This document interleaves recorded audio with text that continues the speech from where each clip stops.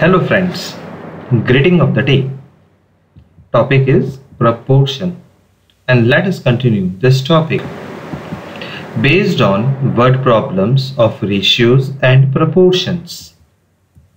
In order to solve word problems of ratios and proportion we use number 1 concept of ratio and proportion or properties of ratio and proportion, or third is option method. तो in C A foundation we use option method generally जिधर भी use हो सकता है to save the time जिसे हम बोलते हैं go through option so let us start this sum number one the students of two classes are in the ratio 5 is to 7 if 10 students left from each class, the remaining students are in the ratio of 4 is to 6. Then the number of students in each class is options A, B, C, D. So by going through option A 30 and 40 first condition है question में that student of two classes are in the ratio five is to seven so that means कि दो classes में students का ratio five is to seven होना चाहिए और हमारे ऑप्शन ए में ratio of thirty and forty है three is to four which is not equal to 5 is to 7. So therefore, option A is not correct. Now moving towards the option B. 25 and 24. First condition. Students of two classes are in the ratio 5 is to 7. So ratio of 25 and 24 will remain 25 is to 24. That is not equal to 5 is to 7. So we can say that therefore option B is not the correct option. Let's move towards the option C. 40 and 60 students. First condition hai the ratios of two classes are in the ratio 5 is to 7. So now what is the ratio of 40 and 60? Is equal to 2 is to 3 which is not equal to 5 is to 7. So therefore, option C is not correct.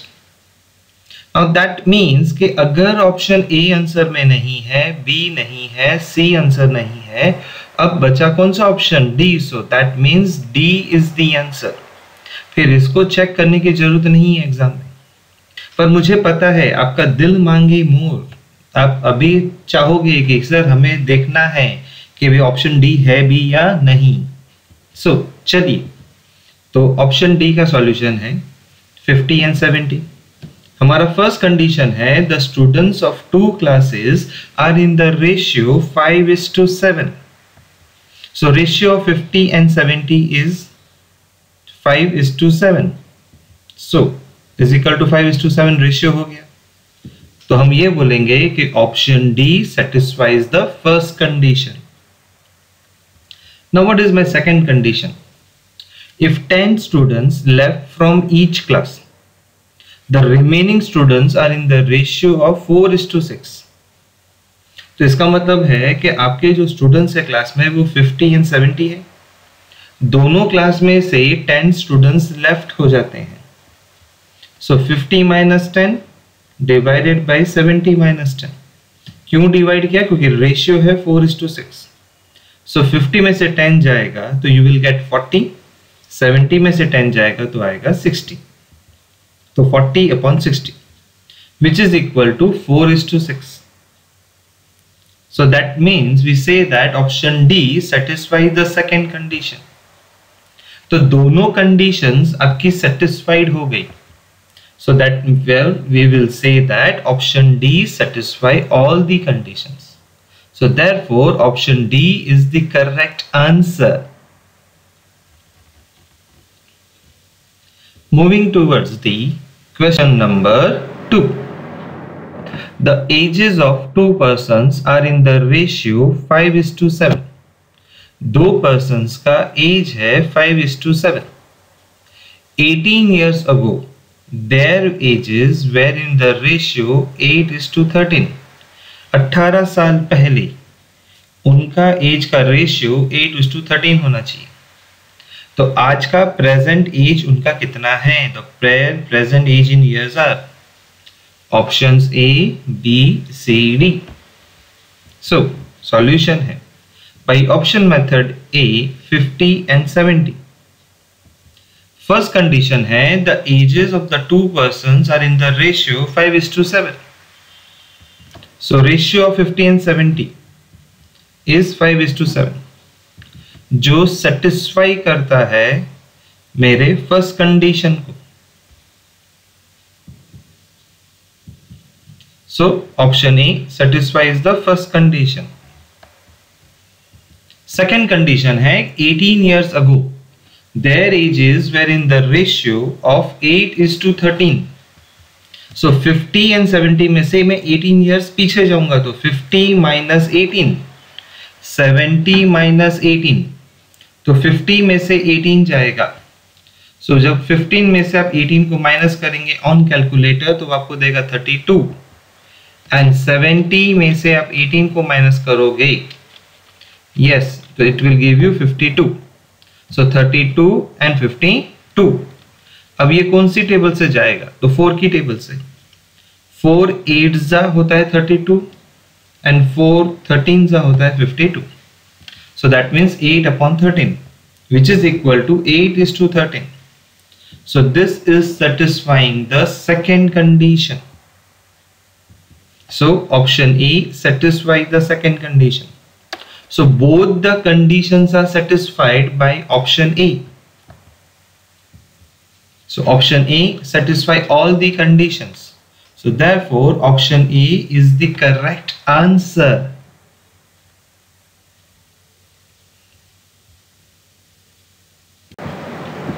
Question number 3. The income of A and B are in the ratio 3 is to 2. The income of A and B का ratio होना चाहिए three to two their expenditures in the ratio है five is to three Each saves rupees fifteen hundred then B's income is how much अगर दोनों ने पंद्रह सौ रुपये बचाए तो बी की इनकम क्या होगी? हमें ये फाइंड करना है। तो हमारा फ़र्स्ट कंडीशन है the income of A and B are in the ratio three is to two तो income of A and B है are in the ratio three is to two तो हम लोग बाई ऑप्शन जाते हैं यहाँ पे। अगर मैं बाई ऑप्शन जाता हूँ that is six thousand rupees मतलब ये तो बी की इनकम है। So ratio and income ratio है सिक्स थाउज़ेंड अभी मैंने थोड़ी देर पहले बोला just fraction of seconds back ये सिक्स थाउज़ेंड किसकी इनकम है? बी की। तो बी का रेशियो क्या है? टू तो यहाँ से मैं ए की इनकम पहले फाइंड कर लेता हूँ। तो ए का रेशियो कितना है? Three so income will be question mark तो cross multiply three multiply six thousand divided by two इसे सॉल्व करेंगे two and six thousand cancel होके three thousand so I will get the nine thousand तो यहाँ से मुझे ये पता चलेगा कि ए की इनकम है नाइन थाउज़ेंड एंड बी की इनकम हो गई सिक्स थाउज़ेंड अब हमारे पास एक और कंडीशन था. If each saves rupees fifteen hundred so that means income में से मैं अगर सेविंग को माइनस कर दूँ तो मुझे क्या मिलता है? एक्सपेंडिचर तो यहाँ से मैं ये फाइंड करूँगा कि ए का एक्सपेंडिचर क्या है। तो ए का एक्सपेंडिचर के लिए मुझे ए की इनकम चाहिए और ए का सेविंग चाहिए। तो ए की इनकम है nine thousand minus saving fifteen hundred so nine thousand minus fifteen hundred करूँगा तो रुपीज़ सेवेंटी फाइव हंड्रेड आएगा। अब मैं बी का एक्सपेंडिचर फाइंड करता हूँ। तो बी का एक्सपेंडिचर है इनकम माइनस सेविंग इनकम है सिक्स थाउज़ेंड माइनस सेविंग है पंद्रह सौ सो सिक्स थाउज़ेंड माइनस पंद्रह सौ करेंगे तो रुपीज़ फोर्टी फाइव हंड्रेड है। अब मैं दोनों एक्सपेंडिचर का क्या निकालता हूँ? रेशियो तो expenditure ratio A is to B A seventy five hundred and B है फोर्टी फाइव हंड्रेड सो दोनों में से डबल ज़ीरो पीछे से हटा दिया। तो seventy five and forty five आ गया। अब 75 एंड 45 जो है will go with the help of yes it goes with the help of 5 तो 5 से गया तो कितना आ गया? 15 is to 9 again, ये further reduce हो सकता है with the help of 3 so that comes to 5 is to 3 तो एक्सपेंडिचर रेशियो आ गया 5 is to 3 क्या यही एक्सपेंडिचर रेशियो मेरे क्वेश्चन में दे रखा है? द आंसर इज़ यस तो यहाँ से ये कंफर्म हो गया कि option A is the answer but now the same sum can be solve with the alternative method ये सेम सम को अब ऑल्टरनेटिव मेथड से भी सॉल्व कर सकते हैं। दूसरे मेथड से भी सॉल्व कर सकते हैं। Let's see the alternative method the income of A and B are in the ratio 3 is to 2 so, let the income of a को हम लोग ले लेते हैं 3x and 2x if each saves 1500 rupees तो हमें पता है कि भाई इनकम माइनस सेविंग करोगे तो आपको क्या मिलेगा? एक्सपेंडिचर मिलेगा। So that is 3x minus 1500 तो ए का इनकम है थ्री एक्स उसका सेविंग है फिफ्टीन हंड्रेड तो मुझे मिलेगा ए का एक्सपेंडिचर सेम वे बी का एक्सपेंडिचर मिलने के लिए उसके इनकम में से एक्सपेंडिचर माइनस करना पड़ेगा. तो two X minus fifteen hundred is equal to B's expenditure question था कि एक्सपेंडिचर का जो रेशियो है वो फाइव इज़ टू थ्री होना चाहिए. ओके तो three X minus fifteen hundred divided by two X minus fifteen hundred is equal to expenditure ratio five upon three अब मैं इसको क्रॉस मल्टीप्लाई करता हूँ। तो जब मैंने इसको क्रॉस मल्टीप्लाई किया three multiply three X minus fifteen hundred is equal to five multiply two X minus fifteen hundred अब आप ब्रैकेट को ओपन करिए। तो जब आपने ब्रैकेट को ओपन किया तो थ्री थ्री जा कितना हो गया? Nine X minus three into fifteen hundred होता है forty five hundred is equal to five two ज़ा ten X minus five into fifteen hundred seventy five hundred अब इसे हम सॉल्व करेंगे। तो nine X and ten X में ten X is greater तो टेन एक्स को मैं लेफ़्ट राइट साइड ही रहने देता हूँ। तो टेन एक्स और नाइन एक्स को मैंने राइट साइड ट्रांसफ़र किया तो माइनस नाइन एक्स हो गया। Equals to now seventy five hundred will transfer to the left side so seventy five hundred minus जो था वो यहाँ पे प्लस हो जाएगा। Minus forty five hundred seventy five hundred में से फोर्टी फाइव हंड्रेड गया तो that comes to three thousand is equal to X तो एक्स की वैल्यू है थ्री थाउज़ेंड मुझे तो बी की इनकम फाइंड करनी है तो बी इज़ इनकम इज़ क्या? टू एक्स अभी टू मल्टीप्लाई थ्री थाउज़ेंड कर देंगे। So that will give me six thousand rupees So from here I can say that option A is the correct answer. तो ये sum को solve करने के दो मेथड्स हैं। आपको जो इजी लगे आप वो मेथड कर सकते हैं। Moving towards the question number four the numbers 14, comma 16, comma 35, comma 42 are not in proportion मतलब क्वेश्चन खुद बोल रहा है कि ये नंबर्स प्रपोर्शन में नहीं है। The fourth term for which they will be in proportion मतलब क्वेश्चन ने आपको हेल्प भी किया है कि जो फोर्थ टर्म है, वो प्रपोर्शन में नहीं है। Option A B C D so question के हिसाब से था फोर्थ टर्म तो फोर्थ टर्म प्रपोर्शन नहीं है तो मेरा फोर्थ टर्म तो 42 है। तो इसी को हम क्या ले लेंगे? X मतलब कि अब मुझे x फाइंड करना है। तो फोर्थ प्रोपोर्शन को फाइंड करने का फॉर्मूला क्या है? A upon B is equal to C upon X तो एक्स इज़ इक्वल टू क्या हो जाएगा? B multiply C divided by A तो मुझे यहाँ पे x की वैल्यू फाइंड करनी है। तो क्वेश्चन एकदम क्लियर है। क्वेश्चन में बोला ही है कि फोर्थ टर्म मतलब कि फोर्थ नंबर का जो है, जो पहले 42 था, वो उसके वजह से प्रोपोर्शन में नहीं आ रहा है तो हमें वो फोर्थ टर्म फाइंड करना है। So 14 upon 16 is equal to 35 upon x. So x is equal to 16 multiply 35 divided by 14 which is equals to 16 into 35 is 560 divided by 14 cancel hoga so you will get 40 so I can say that x is equal to 40 so x की value होनी चाहिए 40 so we can say that option B 40 is the correct answer Question 5.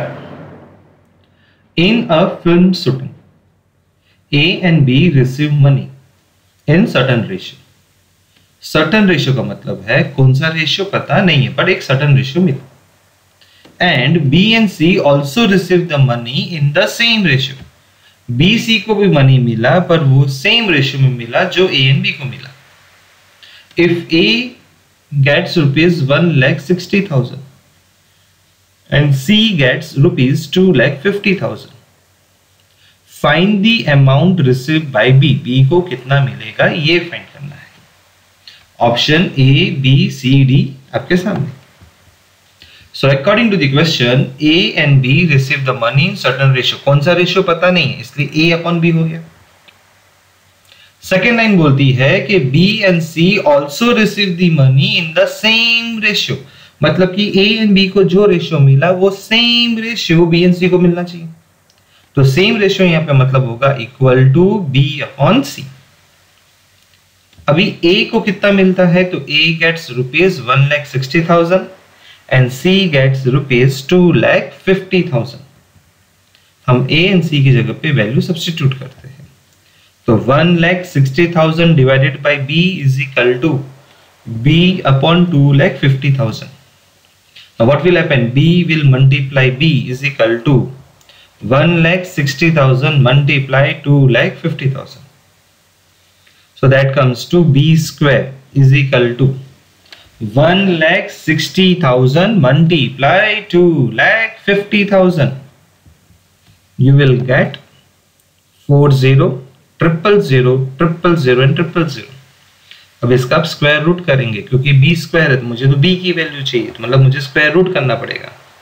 तो square root से मिलेगा two lakh rupees now question is asking you find the amount receive by B तो B को कितना मिला? तो answer is rupees two lakh so option A is the correct answer question number six if the salary of P is 25% lower than that of Q and the salary of R is 20% higher than that of Q. The ratio of the salary of R and P will be option A, B, C, D. So now over here हमें क्या क्या दिया हुआ है P दिया है Q दिया है एंड R दिया है तो पहले तो तीन पर्सन है। और उनका हमें सैलरी का रेशियो फाइन करना है आर एन पी का। क्या फाइन करना है? Ratio so P Q R का रेशियो फाइन करेंगे। कंडीशन है कि P is 25 percent lower than that of Q मतलब Q की पास जो भी सैलरी होगी, उसमें 25 परसेंट कम होगा पी में। पी में 25 परसेंट कम होगा। तो can I say that it means 75 percent of Q that means कि अगर क्यू 100 है तो पी को 25 परसेंट कम मिलेगा क्यू से। तो क्यू का 100 में से 25 परसेंट कम मिलेगा। तो मतलब उसको 75 तो मिलेगा। तो इन शॉर्ट क्या मैं ये बोलूँ कि मुझे 75 परसेंट ऑफ़ क्यू मिलेगा? नाउ आर आर की भी कंडीशन है कि R is 20 percent higher than that of Q Q से 20 परसेंट ज़्यादा है। पर क्यू कितना है वो पता नहीं। पर ये परसेंटेज है तो इसलिए मैं क्या बोलूँगा? अगर क्यू 100 है तो आर जो है 20 परसेंट हाइयर है। मतलब कि 100 का 20 परसेंट कितना होता है? 120 percentage of Q so we say that let Q की वैल्यू 100 तो अगर Q की वैल्यू 100 है तो P की वैल्यू क्या होगी? 75 percent of Q. That is 75 percent of 100 और R के आगे लिखा है 120 percent of Q that is 120 percentage of Q Q यानी 100 तो 100 का 75 परसेंट होता है 75 100 will remain as it is and 120 percent का 100 होता है 120 नाउ हम ratio of salary of R and P निकालने वाला क्वेश्चन में। तो salary of R and P R is to P तो आर का है 120 ट्वेंटी इज़ टू पी की वैल्यू है 75 नाउ 120 एंड 75 किसमें कॉमन है? कौन सी टेबल में कॉमन है? सो so, 120 का रेशियो हमने निकाला तो that comes to 8 that means 15 15 8 जा 120 फिफ्टीन फाइव होता है सेवेंटी फाइव तो यहाँ पे आ जाएगा five so we say that it is eight is to five salary of R and P so ratio of salary of R and P will be eight is to five so we say that option B is the correct answer So we move towards the question number If A, B and C started a business by investing rupees 1 lakh 26,000, comma, rupees 84,000 and rupees 2 lakh 10,000.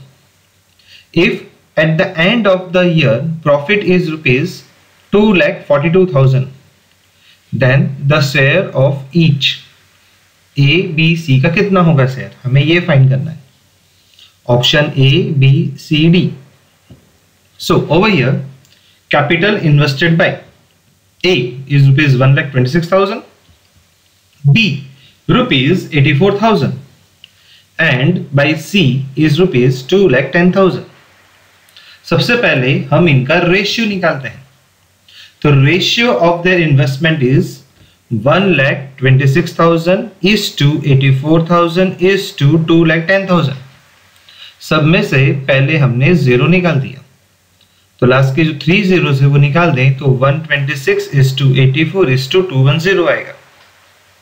Now अब further इसमें तीनों में से common कौन सा number है? तो वो है two one two six divided by two करोगे तो सिक्सटी थ्री एटी फोर को डिवाइड बाई टू करोगे तो forty two and two one zero को टू से डिवाइड करोगे तो वन ज़ीरो फाइव आएगा। Is three is two forty two is two one zero five now further अगर मैं इसको रिड्यूस करूँगा सो so, सबसे पहले आए three is to two is to five तो ये किससे गया? ट्वेंटी वन से गए twenty one multiply three is sixty three twenty one multiply two forty two and twenty and 21 into 5 is 105 so ratio of their investment आ जाएगा three is to two is to five so profit at the year end में था rupees two lakh forty two thousand now A का share कितना? So three divided by three plus two plus five होता है ten multiply rupees two lakh forty two thousand now calculator पे आपको find करना है। तो three multiply two four two triple zero divide by ten yes equal to का button दबाना। तो you will get rupees seventy two thousand six hundred now check करो option A B C D में सबसे पहले सेवेंटी टू सिक्स हंड्रेड किधर है? Yes option A में है। So hundred percent option A is my answer but ये दिल मांगे मोर। हम बी भी फाइंड करेंगे। तो बी का शेयर कितना है? So two divided by ten multiply two four two triple zero equals to calculator पे काउंट करोगे तो you will get four eight four double zero forty eight thousand four hundred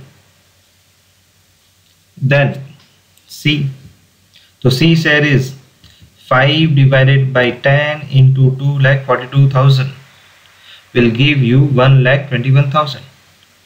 अब तो कंफर्म हो चुका है कि option A is the correct answer question number eight rupees four zero seven are to be divided among A comma B and C so that their share are in the ratio one upon four is to one upon five is to one by six the respective shares of A, B, C are. तो question में ये लिखा है कि आपके पास 407 rupees है और उसे आपको ए बी सी में डिवाइड करना है।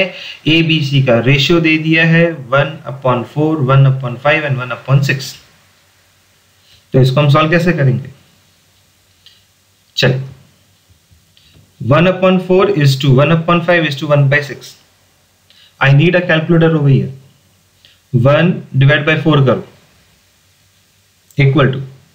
तो you will get zero point two five one divide by five is equal to you will get zero point two zero one divide six equal to.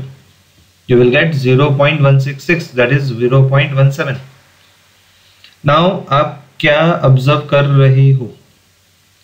कि जो रेशियो है वो decreasing order में है। The ratio is in decreasing so from the options let's find which shares are given in decreasing order yes, options में भी मेरा ratio अगर डिक्रीजिंग में है तो उनका जो शेयर है 407 का, वो भी किसमें आना चाहिए? डिक्रीजिंग फॉर्म में होना चाहिए। तो लेट अस स्टार्ट भी देख पर साथ में ये भी चेक करना टोटल भी करके चेक करना कि वो 407 है या नहीं है। तो चलो, पहले चेक करें तो 165 प्लस 132 प्लस 110 कि अगर मैं टोटल चेक करता हूँ तो 407 आता है। और अब सारी बी सी डी में भी यही तीन फिगर है पर थोड़ा सा इनको जंबल टप करके दिया है। अब इनको भले जंबल अप करके दिए। और हमें भी पता है कि ये तीन ही नंबर्स हैं। एक नंबर हो सकता है 165, 132, 110 पर कौन से ऑर्डर में? तो ऑर्डर का रेशियो हमें हेल्प करेगा। That means the first ratio will be higher than the second one and second one will be higher than the third one तो ये चेक करो 165 एंड 132 ऑप्शन ए में चेक करो 165 एंड 132 में 165 बड़ा है। 132 एंड 110 में ऑप्शन 132 बड़ा है। So that means according to the ratio 0.25, 0.20 and 0.17 में अगर हम देखें तो ये सेटिस्फाई करता है। चलिए आगे भी चेक करते हैं। मैं मना नहीं करूँगा पर फिर भी हम चेक करते हैं बी 165 एंड 110 में 165 ग्रेटर है। बट नाउ सेकेंड पार्ट में अगर मैं देखूँ तो 110 एंड 132 में। ऑप्शन बी में 110 एंड 132 में 132 बड़ा है। मतलब ये मेंटेन नहीं होता है डिक्रीजिंग रेशियो वाला। So that means I will say no C में चेक करते हैं। 132 एंड 110 में 132 ग्रेटर बट 110 एंड 165 में 165 ग्रेटर है। That means decreasing ratio maintain नहीं है। So this is also not satisfying अभी लास्ट ऑप्शन जो दिख रहा है कि 110 is smaller than 132 is smaller than 165 मतलब यहाँ पे तो इंक्रीजिंग रेशियो दिख रहा है। मतलब हमें चाहिए decreasing ratio that is not possible so that means only option A जो है, वो सेटिस्फाई कर रहा है। So we say that option A is the correct answer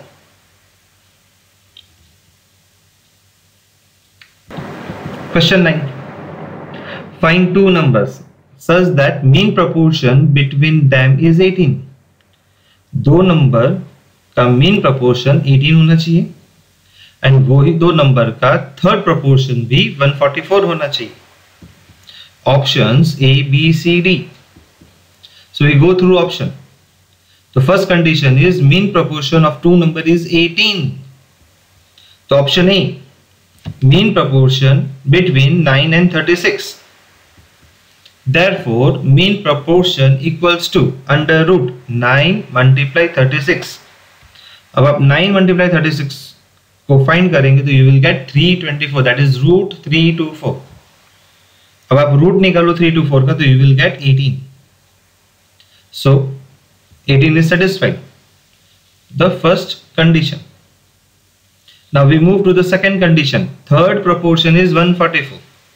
So third proportion को फाइंड करने का फॉर्मूला है A upon B is equal to B upon x तो ए और बी की वैल्यू रखते हैं nine upon thirty six is equal to thirty six upon x तो एक्स की वैल्यू फाइंड करें तो x equal to thirty six multiply thirty six divided by nine so thirty six into thirty होता है one two nine six divided by nine तो जब आप 1296 को डिवाइड बाय 9 करेंगे तो you will get x is equal to 144 so you can say that it satisfies the second condition also. So both the conditions are satisfied through option a. So we say that option A is the correct answer. Question number 10. Person has assets worth rupees 1,48,200. He wished to divide it amongst his wife, son and daughter. In the ratio 3 is to 2 is to 1, में वो divide करना चाहता from this asset the share of his son will be तो son का share कितना होगा, ये find करना है। From option A B C D में से। So a person has assets worth rupees one lakh forty eight thousand two hundred he wish to divide it amongst his wife को देगा सन को देना है डॉटर को देना है। और उनका रेशियो भी उसने डिसाइड कर लिया है three is to two is to one but question में बोला है कि भाई हमें सिर्फ़ सन का ही शेयर फाइंड करना है। The share of a son will be तो सन का share two upon six multiply one lakh forty eight thousand two hundred is equal to अब इसे आप सॉल्व करेंगे। तो you will get rupees forty nine thousand four hundred So we can say that option B is the correct answer. Question 11. For three months, the salary of a person are in the ratio 2 is to 4 is to 5. If the difference between the product of salaries of the first two months and last two months is rupees 4 crore 80 lakh then the salary of the person for the second month will be options A B C D question को फिर से पढ़ते हैं. Three months की salary दे दी गई है in the ratio form that is two is to four is to five question में बोला है, आपको डिफरेंस फाइंड करना है बिटवीन किसके? Product of salaries of first two months पहले दो मंथ्स का सैलरी का product and last two months salaries का प्रोडक्ट और उनका जो डिफरेंस है वो है फोर करोड़ एटी लैख तो सेकेंड मंथ में सैलरी कितनी होगी ये फाइंड करना है। सो so, सॉल्यूशन है three month salary of a person are in the ratio two is to four is to five तो salary of first month be two x salary of second month x 4x and salary of third month be 5x तो जो ratio था 2 is to 4 is to 5 is converted into salary 2x 4x and 5x difference between the product of salaries of first two months and last two months is rupees 4 crore 80 lakh the product of last two months what is my last two months second month and third month so that is 4x multiply 5x. Question में था difference between that is minus. Product of first two months. What is my first two months? First month and second month. That is 2x and 4x. और उनके बीच में difference. So two x and four x और उनका जो difference है, वो है फोर करोड़ एटी लैक्स का। तो what we do is four multiply five twenty x multiply x x square तो twenty x square minus two multiply four eight x multiply x x square so that is eight x square is equal to four crore eighty lakhs now you will subtract twenty x square minus eight x square तो आपको मिलेगा twelve x square is equal to four crore eighteen x so x square is equal to four crore eighty lakhs will divide by twelve and आपको मिलेगा forty lakhs मुझे ये x square दिया है, मुझे एक्स की वैल्यू चाहिए तो x is equal to forty lakh का square root that answer will be rupees two thousand question की लास्ट लाइन में लिखा था salary of the person for the second month तो salary of second month is 4x so that is equal to 4 will multiply 2000 x की value substitute करेंगे तो I will get the answer eight thousand so I say that option C is the correct answer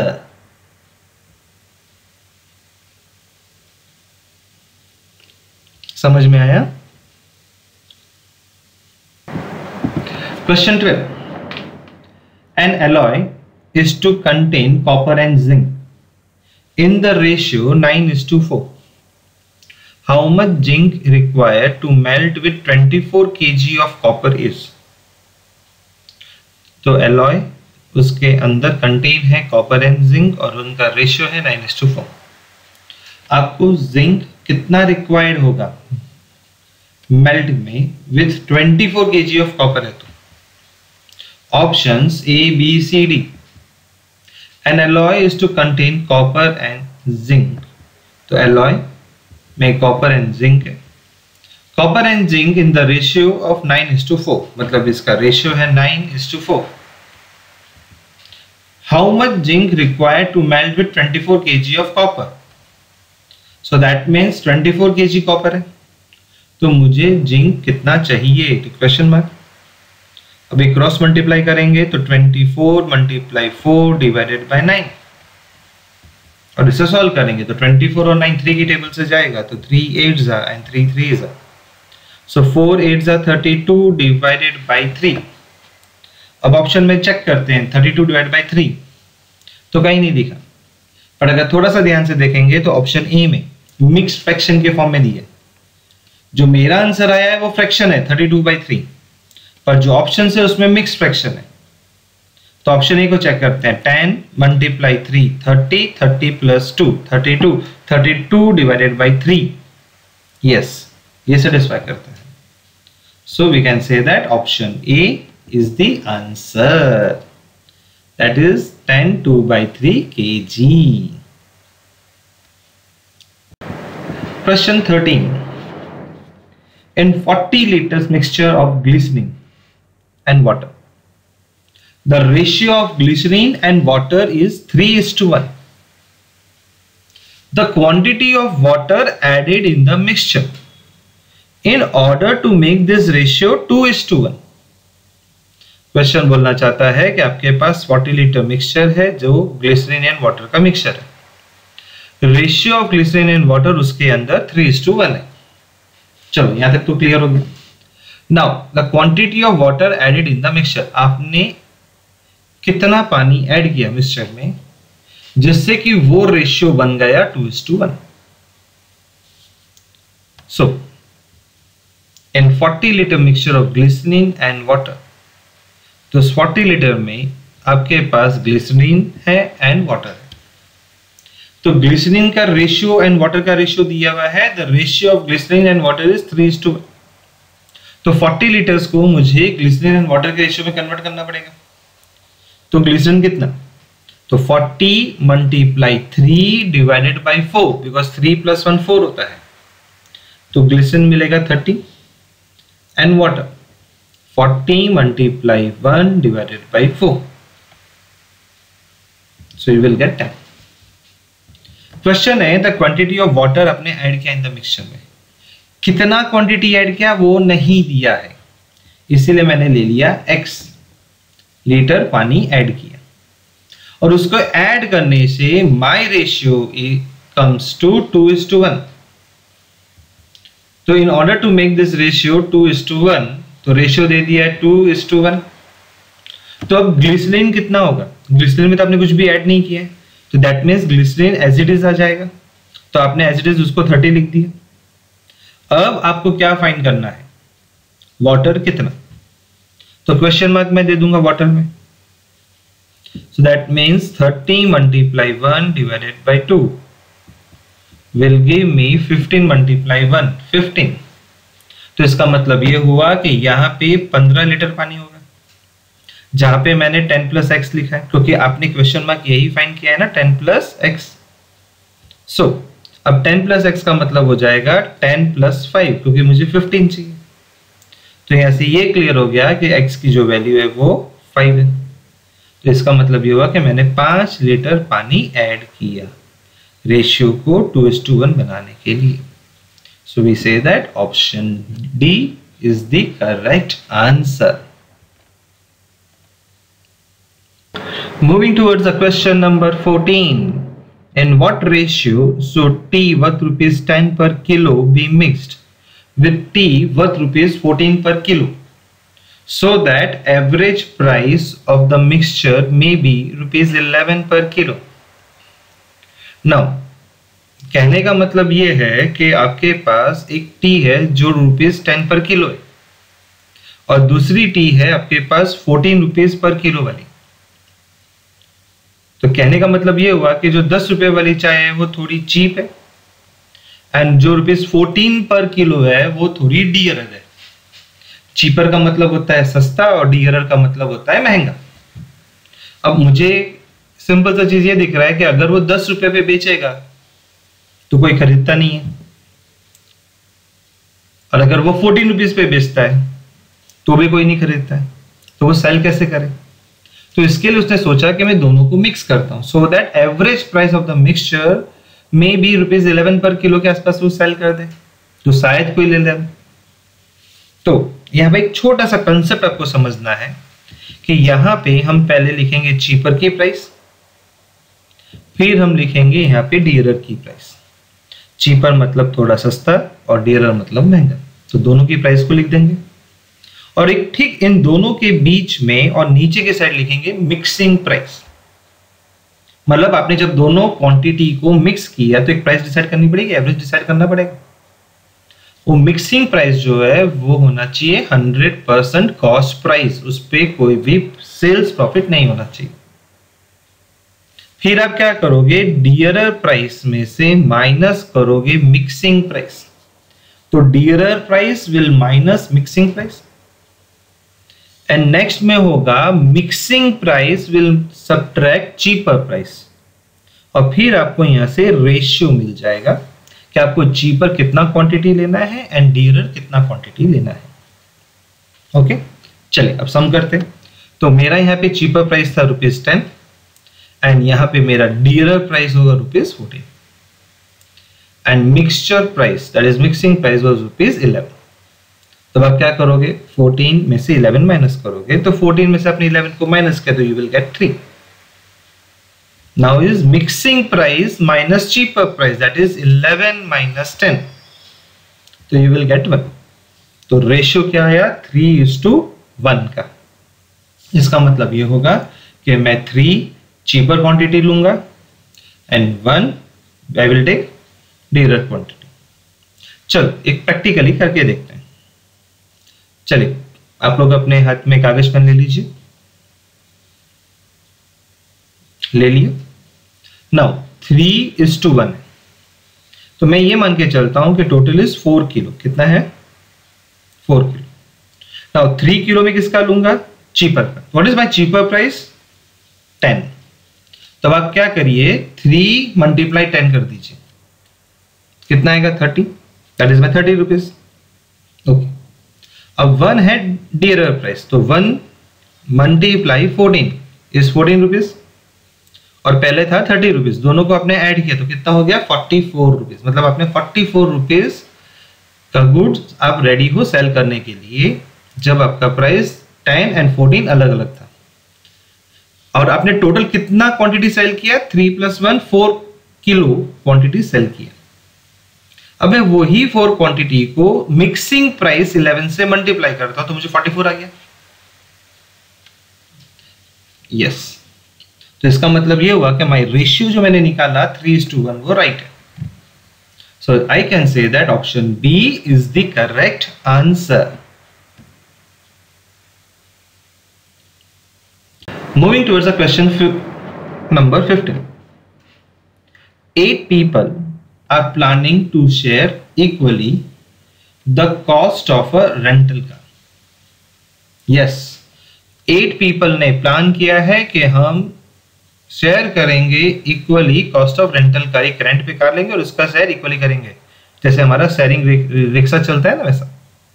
If one person withdraws from the arrangement and then the other sells equally entire cost of the car then the share of each of the remaining person कितने से increase हो गया ये find करना है।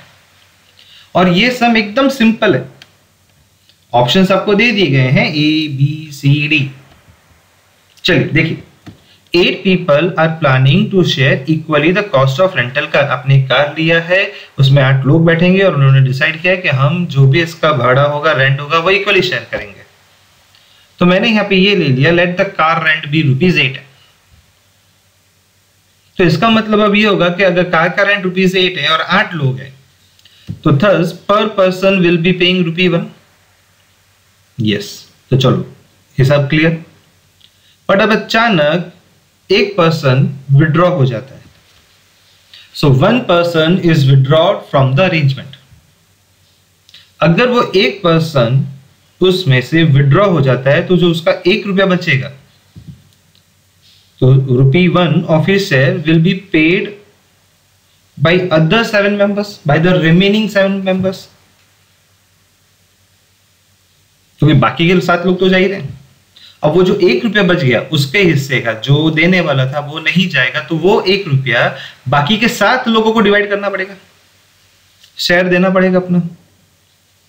So thirds rupees one is divided into remaining seven percent में हमने divide कर दिया। That is one divide by seven will be paid by each person along with the rupee one which they used to pay earlier. एक रुपया तो वो दे ही रहे थे अपना खुद का, जब वो शेयर करके जा रहे थे। अब एक आदमी ने जो मना कर दिया, क्योंकि कार रेंट तो कम होगा नहीं ना कार रेंट तो फिक्स हो चुका है। Car rent is rupees eight अब तुम दो जाओ, चार जाओ, छह जाओ, या आठ जाओ, वो तो आठ रुपए ही लेगा। वो तो तुमने ऐसा सोचा कि भाई आठ रुपया अगर वो कार ले रहा है और हम आठ लोग जा रहे हैं तो सबको एक एक रुपया देना है। पर एंड टाइम पे एक बंदे ने मना कर दिया। तो मतलब उसका जो एक रुपया है, वो बाकी के सेवन को अब देना पड़ेगा। तो that is one divide by seven will be paid by each person long with their एक रुपए के साथ। एक्स्ट्रा देना पड़ेगा। So thus share of each remaining person जो इंक्रीज हुआ, वो कितने से हुआ? वन बाई सेवन तो मतलब सबका अब जो रिमेनिंग पर्सन का जो शेयर इंक्रीज हुआ हमें पूछा है कितना इंक्रीज हो गया तो that will be one by seven सबका इंक्रीज हो गया। So I will say that option C is the correct answer thank you friends if you have doubt you can call और WhatsApp me on seven six double zero eight two eight six nine six thank you